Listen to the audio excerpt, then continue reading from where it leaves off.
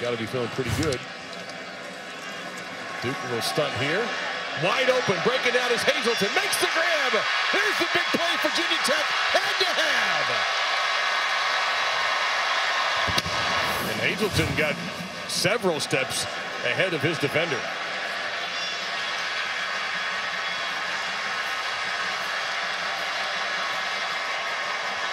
Just a busted coverage there. And again, you know, look, eh, I've seen that happen and they overthrow the guy, right? So that was a good job by Ryan Willis delivering the ball exactly where it needed to be.